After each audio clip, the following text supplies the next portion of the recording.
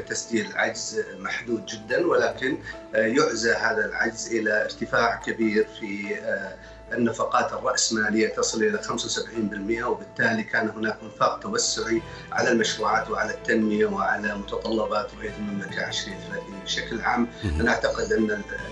الأرقام مبشرة في الربع الأول